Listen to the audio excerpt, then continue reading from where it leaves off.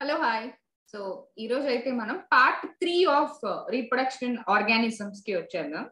So ఇప్పుడు మనం ఎలాగో సిరీస్ చేస్తున్నాం కాబట్టి ఈ సిరీస్లో ఇప్పుడు మనం ప్రెసెంట్ సూట్ uh, uh, తీసుకున్న చాప్టర్ యూనిట్ రీప్రొడక్షన్ ఎందుకు రీప్రొడక్షన్ అంటే ఎన్సీఆర్టీ వైస్ ఇంకా నీట్ వైస్ కూడా వెయిటేజ్ ఉన్న టాపిక్ సో వెయిటేజ్ వచ్చి మీకు నైన్టీన్ పర్సెంట్ ఉంటుంది.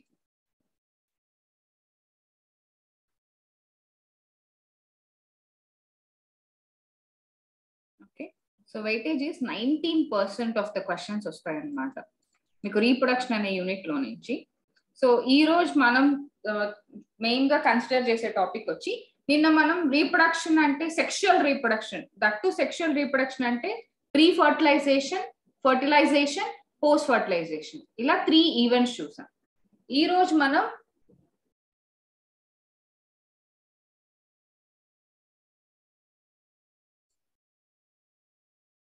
సో ఈ రోజు మనం గ్యామెట్ ట్రాన్స్ఫర్ ఫర్టిలైజేషన్ ఇంకా పోస్ట్ ఫర్టిలైజేషన్ ఈవెంట్స్ సో ఇవి సీరియస్ గానే చూడండి. ఈ టాపిక్స్ అన్ని కూడా ఒకదాని తర్వాత ఒకటి అర్థమవుద్ది.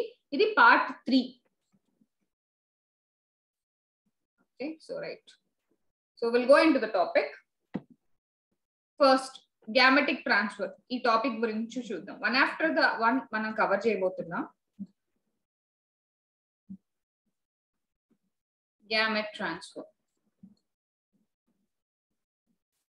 So what is gamete transfer so మనం ఆల్రెడీ రీప్రొడక్టివ్ స్ట్రక్చర్స్ని ఏమేమి అంటామని చూసాం. ఆల్గేలో అయితే ఊగోనియం లేదా యాంథ్రోగోనియం సో తర్వాత archegoniophore antheridiophore. So దాని తర్వాత స్టేమెన్స్ పిస్టల్స్ ఇలా రకరకాల ఆర్గాన్స్ పేరుతోటి పిలుస్తాం. అదే హ్యూమన్స్లో అయితే టెస్టెస్ ఓవరీ ఇలాగా. So gamete transfer so in majority of the ఆర్గానిజమ్స్లో male gametes అన్ని మొటైల్ మోస్ట్లీ మొటైల్గా ఉంటాయి. సో మీకు బ్రయోఫైట్స్ ఇంకా టెరిడోఫైట్స్ తీసుకుంటే అవి ఎందుకు వాటర్ దగ్గరే ఉంటాయంటే వాటి సెక్షువల్ రీప్రొడక్షన్కి వాటర్ అనేది ఒక ఎసెన్షియల్ మీడియం లేదా వెహికల్గా యాక్ట్ చేస్తుంది. వాటర్ లేకపోతే సో బ్రయోఫైట్స్ టెరిడోఫైట్స్ అసలు ఉండలేవు. అందుకే అవి డ్యాంప్ ఏరియాస్లోనే ఉంటాయి. నీడగా కొంచెం వాటర్కి దగ్గరగానే ఉంటాయి అనమాట అదే రీజన్ మెయిన్గా వాటి గ్యామెటిక్ ట్రాన్స్ఫర్కి వాటర్ని అవి మీడియం గా సెలెక్ట్ చేసుకున్నాయి అండ్ ఇంకా ఫీమేల్ గ్యామెట్స్ అయితే స్టేషనరీగా ఉంటాయి.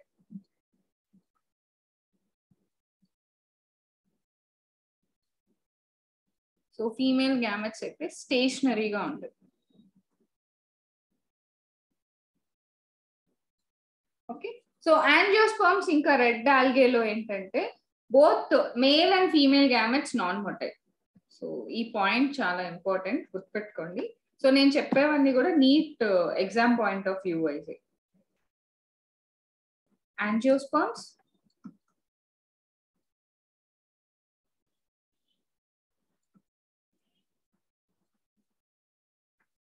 ఇంకా red algae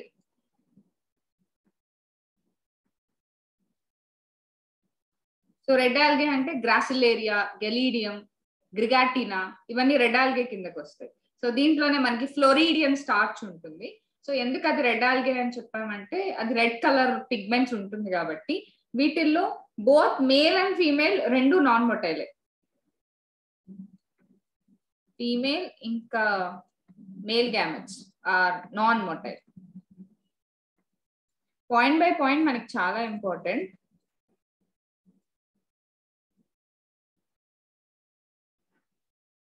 సో ఇంకా కొన్ని ప్లాంట్స్లో ఏంటంటే ఆల్గే బ్రయోఫైట్స్ టెరిడోఫైట్స్లో నేను ఆల్రెడీ చెప్పినట్టే మీకు వాటర్ అనేది ఒక మీడియం గా ఉంటుంది. ఆల్గే బ్రయోఫైట్స్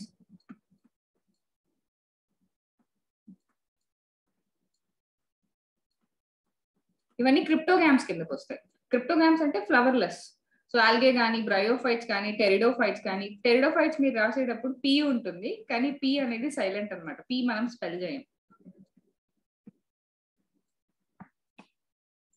సో వీటిలో ఏంటంటే water is the medium mainly for gametic transfer. వాటి సెక్షువల్ రీప్రొడక్షన్ అవి వర్క్ అవుతున్నాయి అంటే మెయిన్ మీడియం వచ్చి వాటర్ మనకి.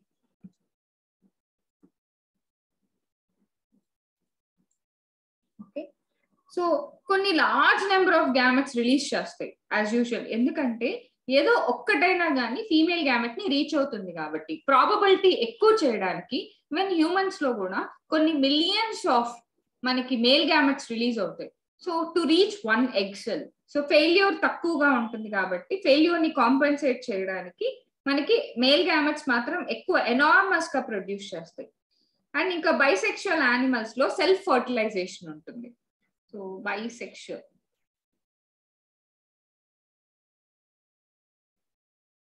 will select one more colour bisexual so బైసెక్షువల్లో అయితే మనకి సెల్ఫ్ ఫర్టిలైజేషన్ ఉంటుంది.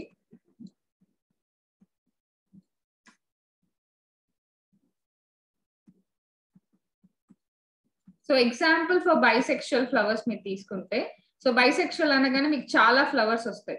ద బెస్ట్ ఎగ్జాంపుల్ మనం సోఫార్ సెకండ్ ఇయర్లో చూసే ఒక చాప్టర్ మొత్తం కూడా ఆ ఎగ్జాంపుల్ మీదే డిపెండ్ అయి ఉంటుంది. అదే pea plant Pisum sativum.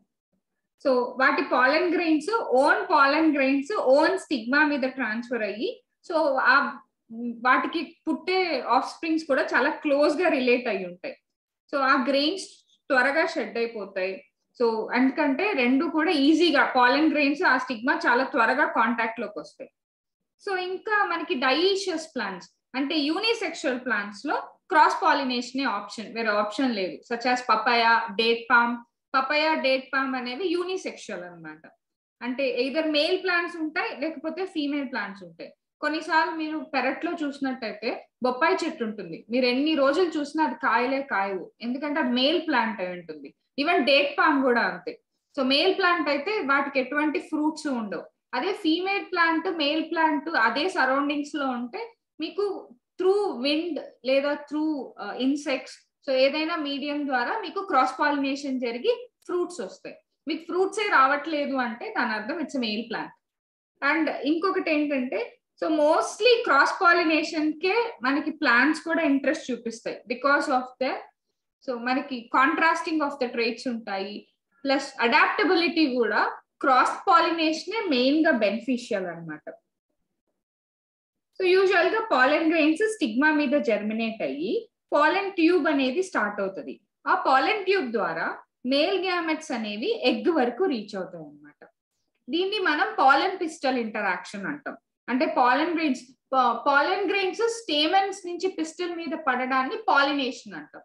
ఆ పాలెన్ గ్రెయిన్స్ దాని తర్వాత జర్మినేట్ అయ్యి ఆ పాలన్ ట్యూబ్ స్టార్ట్ అయ్యి దాని తర్వాత ఎక్సెల్ దాకా రీచ్ అవ్వడాన్ని పాలెన్ పిస్టల్ ఇంటరాక్షన్ అంటాం. So monoecious dioecious varieties so bisexual unisexual ఈ ఎగ్జాంపుల్స్ మాత్రం తప్పకుండా గుర్తుపెట్టుకోండి. NEET point of view wise and ఇంకొకటి ఈ రోజుతో మీకు ఈ ఆఫర్ ఎండ్ అవబోతుంది. You can save up to twenty five percent on your Unacademy NEET UG subscription and you can beat the price hike before May nineteen May nineteen లోపల మీరు కానీ subscription తీసుకుంటే అంటే ఈ రోజు నైట్ ట్వెల్వ్ ఓ clock లోపల మీరు సబ్స్క్రిప్షన్ తీసుకున్నట్టయితే మీకు ట్వంటీ ఫైవ్ పర్సెంట్ ఆఫ్ ఉంటుంది. మీకు లింక్ నా డిస్క్రిప్షన్ బాక్స్లో ఉంది. అండ్ ఆ డిస్క్రిప్షన్ ఆ లింక్ ఓపెన్ చేసిన తర్వాత ఆ రెఫరల్ కోడ్లో ఈ జిఎస్ఎస్ జీరో త్రీ ఈ రెఫరల్ కోడ్ వేసినప్పుడు మీకు ట్వంటీ ఫైవ్ పర్సెంట్ ఆటోమేటిక్గా డిస్కౌంట్ వస్తుంది. ఎంత డిస్కౌంట్ వస్తుంది అంటే మీకు ప్లస్ సబ్స్క్రిప్షన్ ఉంది. అలాగే సారీ ఐకానిక్ సబ్స్క్రిప్షన్ ఉంది. సో ప్లస్ సబ్స్క్రిప్షన్లో uh, యాక్చువల్ ప్రైజెస్ ఇవి. ఇప్పుడు ప్రెసెంట్ ఆఫర్ ప్రైజెస్ ఇవి. మీరు ఇంత సేవ్ చేయొచ్చు అనమాట ప్లస్ సబ్స్క్రిప్షన్ తీసుకోవడం వల్ల. ఫర్ ఎగ్జాంపుల్ మీరు ట్వంటీ ఫోర్ మంత్స్ అంటే టూ ఇయర్స్ మీరు నీట్ రాసే వరకు సే మీరు కానీ సబ్స్క్రిప్షన్ తీసుకున్నట్టయితే మీకు అరౌండ్ ఫిఫ్టీన్ థౌజండ్ వరకు డిస్కౌంట్ వస్తుంది. అదే మీరు ఐకానిక్ సబ్స్క్రిప్షన్ తీసుకున్నట్టయితే మీకు ఇది ఆఫర్ ప్రైస్ ఇది ఇప్పుడు uh, సేవింగ్స్ అనమాట ఇంత సేవ్ చేయొచ్చు మీరు. So please to hurry up మీకు దేనికైనా కానీ practice very very important. So even మీరు పోయిన సంవత్సరం నీట్ క్రాక్ చేయలేకపోయినా you can get a chance to again to reach your goal. మీరు ఎయిమ్స్ కే వెళ్ళొచ్చు okay? So don't lose your hope. మనం ఫైట్ చేయడం ఆపేస్తే మాత్రం మనం ఏం చేయలేం. మనం ఫైట్ చేయడం ఆపేస్తేనే మనం ఓడిపోయినట్టు. So don't let the things to drop down from your hands. So తప్పకుండా మీరు ఫైట్ చేయాలి. సో తప్పకుండా మీరందరూ మీ గోల్ని రీచ్ అవ్వాలని నేను కోరుకుంటున్నాను. ప్లస్ మీకు సబ్జెక్ట్ వైజ్ మీకు ఎటువంటి డౌట్స్ ఉన్నా బాట్నీ ఇంకా జువాలజీలో ఎటువంటి డౌట్స్ ఉన్నా నా లైవ్ క్లాసెస్ జరుగుతుంటాయి అన్ అకాడమీలో సో మీరు ఆ లైవ్ క్లాసెస్లో మీ డౌట్స్ ఏమన్నా ఉంటే రిలేటెడ్ టు దట్ టాపిక్ మీరు అడగచ్చు. అండ్ డోంట్ ఫర్గెట్ సో మీరైతే ఈ సబ్స్క్రిప్షన్ కోడ్ గుర్తుపెట్టుకోండి. జిఎస్ఎస్ జీరో త్రీ మీకు అరౌండ్ ట్వంటీ ఫైవ్ పర్సెంట్ వరకు సబ్స్క్రిప్షన్ బెనిఫిట్ ఉంటుంది. అండ్ ఈ twenty five percent subscription benefit ఈ రోజు దాకే ఉంది. ఈ రోజు ట్వెల్వ్ ఓ క్లాక్ లోపల చేసుకుంటే you can get that benefit and don't forget to subscribe with Unacademy. And this is the India's learn largest learning platform so far okay so ఇప్పుడైతే మనం topic లోపలికి వెళ్ళిపోతాం సో ఈ టాపిక్ అయిపోయింది. సో గ్యామెట్స్ ఎలా transfer అవుతాయో మనం చూసాం. సో పాలినేషన్ యాంజియోస్పర్మ్స్ జిమ్నోస్పర్మ్స్లో అయితే పాలినేషన్. మీకు యాంజియోస్పర్మ్స్లో అయితే wind water insects birds bats ఇలా రకరకాల వాటితో పాలినేషన్ జరుగుతుంది. జిమ్నోస్పర్మ్స్లో అయితే మీకు water sorry wind is the main medium for pollination ఎందుకంటే జిమ్నోస్పర్మ్స్లో అట్రాక్టివ్ ఫ్లవర్స్ ఉండవు నెక్టార్స్ ఉండవు ఇలాగా. సో అలానే ఆల్గే బ్రయోఫైట్స్ టెరిడోఫైట్స్లో గ్యామెట్స్ ప్రొడ్యూస్ అవుతాయి. సో ఆ గ్యామెట్స్ అనేది వాటర్ ద్వారా ట్రాన్స్ఫర్ అవుతాయి. ఇంకా యాంజియోస్పామ్స్ ఇంకా రెడ్ ఆల్గేలో గ్యామెట్స్ నాన్ మొటైల్గా ఉంటాయి. సో ఏదో ఒక మీడియం ద్వారానే మనకి gametes male gamete female gamete దగ్గరికి రీచ్ అవ్వాలి లేదా రెండు మీట్ అవ్వాలి. అది గ్యామెటిక్ ట్రాన్స్ఫర్ యొక్క సమరీ నెక్స్ట్ మన టాపిక్లో మనం చూసేది వెరీ వెరీ ఇంపార్టెంట్గా నెక్స్ట్ థింగ్ వచ్చి ఫర్టిలైజేషన్ సో ఫర్టిలైజేషన్ అంటే మనకి union of male and female గ్యామెట్స్ని మనం ఫర్టిలైజేషన్ అంటాం. ఓకే సో ఫర్టిలైజేషన్ సో ఈ ఫర్టిలైజేషన్లో very very vital event vital అంటే అర్థం ఇంపార్టెంట్ అని. మెయిన్గా very important unit event fertilization sexual రీప్రొడక్షన్లో మనకి మేల్ ఇంకా ఫీమేల్ గ్యామెట్స్ ఫ్యూజ్ అవుతాయి. సో ఫీమేల్ ఇంకా మేల్ గ్యామెట్స్ ఫ్యూజ్ అవుతాయి. ఫ్యూజ్ అయ్యి ఒక సెల్ని ఫామ్ చేస్తుంది. దాన్నే మనం జైగోట్ అంటాం. సో జైగోట్ అనేది యూనివర్సల్లీ డిప్లాయిడ్ ఇది. ఓకే సో ఫర్టిలైజేషన్ అనేది ఆఫ్ అండ్ మనం మార్చుకుంటూ ఉండొచ్చు. ఎలా అంటే సింగామి. సో సింగామి అన్న ఫర్టిలైజేషన్ అన్న ఒకటే. సింగామి అంటే యాక్చువల్గా గ్రీక్ టర్మినాలజీ ప్రకారం మ్యారేజ్ అని అర్థం. So fertilization syngamy. ఈ రెండు ఇంటర్చేంజింగ్గా వాడచ్చు. సింగామి అన్న ఫర్టిలైజేషన్ ఫర్టిలైజేషన్ అన్న సింగామి. సో అసలు ఈ సింగామి ఎక్కడ జరుగుద్ది? అంటే ఫర్టిలైజేషన్ అనే ప్రాసెస్ ఏ ప్లేస్లో జరుగుద్ది? కొన్ని ఆక్వాటిక్ ఆర్గానిజమ్స్లో మెజారిటీగా ఆల్గే ఇంకా ఫిషెస్ ఇంకా ఆంఫీబియన్స్లో సింగామి ఎక్స్టర్నల్ మీడియం లో జరుగుతుంది. అంటే వాటర్లో జరుగుద్ది. So outside the body దాన్ని మనం ఎక్స్టర్నల్ ఫర్టిలైజేషన్ అంటాం. సో ఫర్టిలైజేషన్ బేసిక్గా టూ టైప్స్గా డివైడ్ అయింది. ఒకటి ఎక్స్టర్నల్ ఫర్టిలైజేషన్ మీ ఫిషెస్ కానీ మీరు మెయిన్గా ఫ్రాగ్ ఫ్రాగ్లో మనం టాట్పోల్ లార్వాని ఎక్కడ చూస్తాం? వాటర్లోనే. అంటే ఫర్టిలైజేషన్ ఎక్కడ జరగద్ది? వాటర్లో జరుగుతుంది. సో కొన్ని ఆర్గానిజం లో ఇప్పుడు ఫర్ ఎగ్జాంపుల్ మనలో మనలో ఫర్టిలైజేషన్ ఎలా జరగద్ది? ఫీమేల్ బాడీలో ఇంటర్నల్గా జరగద్ది. అదే యాంజియోస్పమ్స్ జిమ్నోస్పమ్స్ వాటిల్లో కూడా ఫీమేల్ పార్ట్ ఆఫ్ ద ఆర్గాన్లో ఇంటర్నల్గా ఫర్టిలైజేషన్ జరిగి అక్కడే సీడ్ డెవలప్ అవుద్ది. వాటిని ఇంటర్నల్ ఫర్టిలైజేషన్ అంటాం. So outside the body meeting of male and female gametes జరిగితే అది ఎక్స్టర్నల్ ఫర్టిలైజేషన్ అలా కాకుండా ఇన్సైడ్ ద ఫీమేల్ బాడీ లేకపోతే inside any of the organism వాటి లోపల జరిగితే దాన్ని మనం ఇంటర్నల్ ఫర్టిలైజేషన్ అంటాం. సో ఓకే సో అది మెయిన్ డిఫరెన్సియేషన్ ఎక్స్టర్నల్ ఫర్టిలైజేషన్కి ఇంటర్నల్ ఫర్టిలైజేషన్కి. యూజువల్గా ఇంటర్నల్ ఫర్టిలైజేషన్ అనేది ఫీమేల్ బాడీ లోపలే జరుగుతుంది. సో బ్రయోఫైట్స్ టెరిడోఫైట్స్లో కూడా ఇంటర్నల్ ఫర్టిలైజేషన్ ఉంటుంది.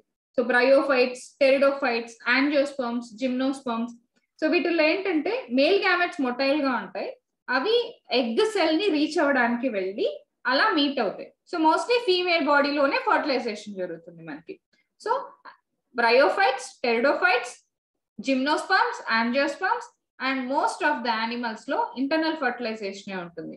ఇంకా ఫిషెస్ ఆంఫీబియన్స్ ఆల్గే వీటిల్లో ఎక్స్టర్నల్ ఫర్టిలైజేషన్స్ ఉంటాయి. సో కొన్ని ప్లాంట్స్లో వచ్చి మేల్ గ్యామెట్స్ నాన్ మొటైల్గా ఉంటాయి ఫీమేల్ గ్యామెట్స్ నాన్ మొటైల్గా ఉంటాయి. ఫర్ ఎగ్జాంపుల్ మనకి యాంజియోస్పామే తీసుకుందాం. యాంజియోస్పామ్లో రెండు కథలు మేల్ గ్యామెట్స్ కదలవు ఫీమేల్ గ్యామెట్స్ కదలవు. సో రెండు కాకపోతే పాలినేషన్ ద్వారా అవి తీసుకెళ్ళి సో డైరెక్ట్గా అక్కడ అలా తీసుకెళ్తాం.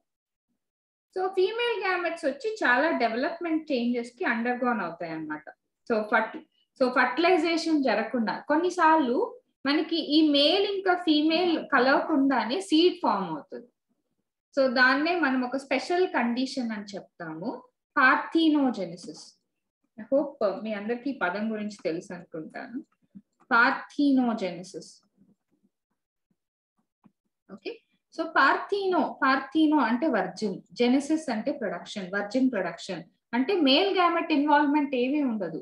ఫీమేల్ గ్యామెట్టే మాడిఫై అయ్యి సో ఫీమేల్ గ్యామెట్ డిప్లాయిడ్గా మాడిఫై అయ్యి స్పెషల్ మియోసిస్ అనమాట ఈ ప్రాసెస్లో ఫీమేల్ గ్యామెట్ డిప్లాయిడ్గా ఉంటుంది. ఆ ఫీమేల్ గ్యామెట్ మనకి ఎంబ్రియోన్ ఫామ్ చేస్తుంది. ఓకే సో ఆ ఎంబ్రియోని మనకి ఫీమేల్ ఆర్గానిజం అయిపోతుంది. సో ఈ కండిషన్ని మనం పార్థినోజెనిసిస్ అంటాం. సో పార్థినోజెనిసిస్ అన్నా లేకపోతే అపోకార్పీ సారీ అపోస్పోరీ. సో అపోస్పోరీ అంటే మేల్ అండ్ ఫీమేల్ గ్యామెట్స్ కలవకుండా మనకి ఇండివిజువల్ ప్రొడ్యూస్ అయితే దాన్ని మనం అపోస్పోరీ అంటాం. మీకు ఇంకొక పదం ఉంది. ఆ పదానికి ఈ పదానికి చాలా మంది కన్ఫ్యూజ్ అవుతుంటారు. అదే పార్థీనో కార్పీ.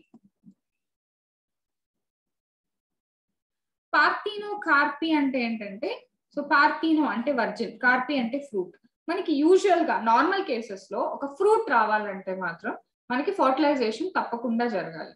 సో ఒక యాంజియోస్పర్మ్స్లో మీకు ఫ్రూట్ ప్రొడ్యూస్ అవ్వాలంటే ఓవ్యూల్ ఫ్రూట్ అంటే ఏంటి? రైప్ అండ్ ఓవ్యూల్ ఇది ఫర్టిలైజేషన్ జరిగాక సో సీడ్స్ని ప్రొటెక్ట్ చేయడానికి బయట ఉన్న ఓవరీ రైపెన్ అయ్యి అలా మనకి ఫ్రూట్ ఫామ్ అవుతుంది. సో పార్థినో కార్పీలో ఏంటంటే so injections sorry hormonal chemicals ఇవ్వడం వల్ల గిబ్బర్లిన్స్ ఆక్సిన్స్ ఇవన్నీ ఇవ్వడం వల్ల మనకి సీడ్స్ ఫామ్ అవ్వకుండానే ఫ్రూట్ డెవలప్మెంట్ స్టార్ట్ అయిపోతుంది. సో సీడ్లెస్ ఫ్రూట్స్ని మనం పార్థీనో కార్పీ అంటాం. The very best example banana. So banana is a parthenocarpy. ఇంకా grapes so watermelon. The best example అయితే బనానా. మీకు అన్ని ఆప్షన్స్లో బనానా ఉంటే మాత్రం go with banana. So banana is the first fruit to develop into parthenocarpy. So ఇప్పుడైతే వేరే ఫ్రూట్స్ను కూడా పార్థినో కార్పీ అంటే వాటర్ మిలన్ కూడా పార్థినో కార్పీ వస్తుంది సీడ్లెస్. Seedless variety. ఎందుకు సీడ్లెస్ వెరైటీ అంటే ఎకనామికల్ వాల్యూ ఎక్కువ ఉంటుంది కాబట్టి. చాలా మంది అలా తినడాన్ని బెనిఫిషియల్గా ఫీల్ అవుతారు కాబట్టి మనకి పార్థినో కార్పీ అనేది ఇంట్రడ్యూస్ చేశారు.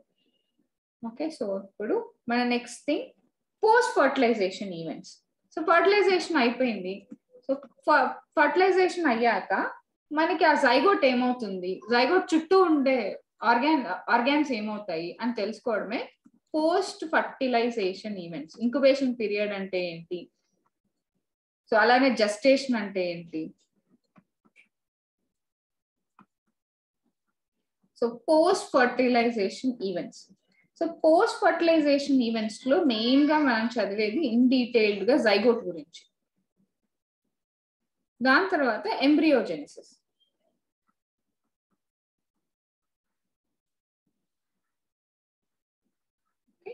so post fertilization events sexual reproduction తర్వాత మనకి జైగోట్ ఫామ్ అవుతుంది. సో ఈ జైగోట్ ఏమవుతుంది? సో ఏ స్టేజెస్ జైగోట్ ఎలా స్టేజెస్ స్టేజ్ టు స్టేజ్ ఎలా పాస్ అవుతుంది? సో జైగోట్ అనేది universally it is diploid and sexual reproduction ద్వారా వచ్చిన ప్రోడక్టే జైగోట్ సో ఏవైతే ఎక్స్టర్నల్ ఫర్టిలైజేషన్ జరుగుతాయో అక్కడ జైగోట్ అనేది ఎక్స్టర్నల్ మీడియం లోనే ఫామ్ అవుద్ది. అంటే వాటర్లో ఫామ్ అవుద్ది. ఇంటర్నల్ ఫర్టిలైజేషన్ జరిగినప్పుడు జైగోట్ అనేది ఆర్గానిజం లోపల ఫామ్ అవుతుంది.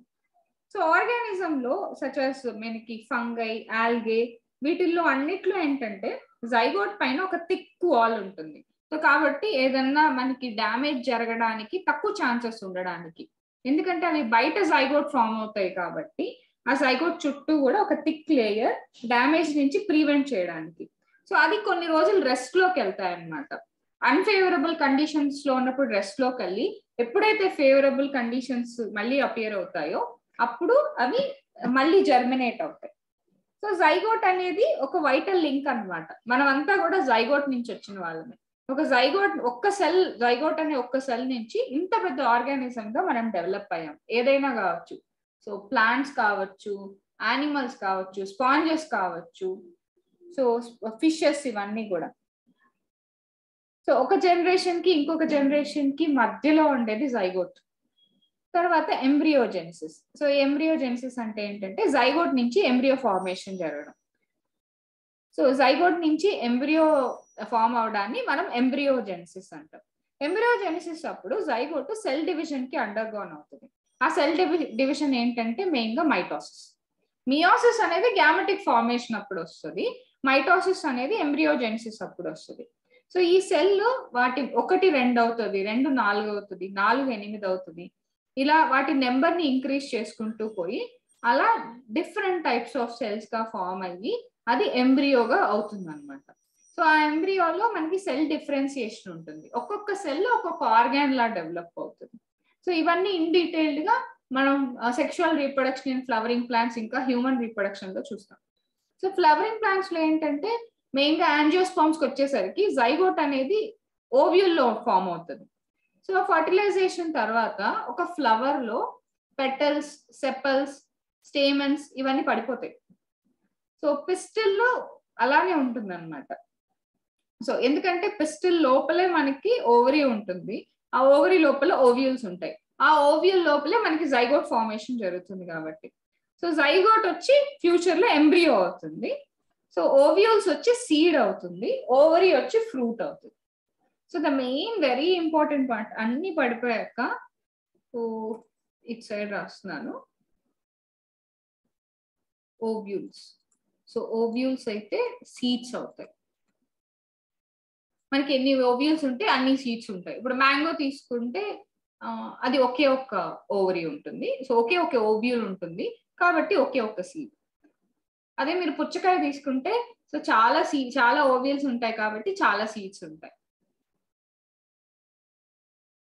సో దాని తర్వాత మనకి ఓవరీ. ఓవరీ వచ్చి ఫ్రూట్ అవుతుంది.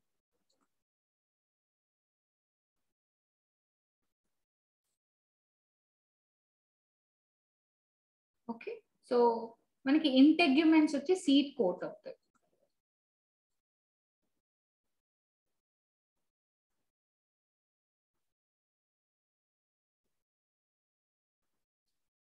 టెస్టా టెగ్మెన్ ఇవి ఇవి వీటి పేర్లు. వీటి గురించి ఇంకా ఇన్ డీటెయిల్గా మనం కమింగ్ చాప్టర్స్లో చూద్దాం.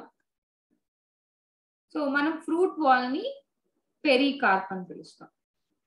ఫ్రూట్ వాల్కి పేరు పెరికార్ప్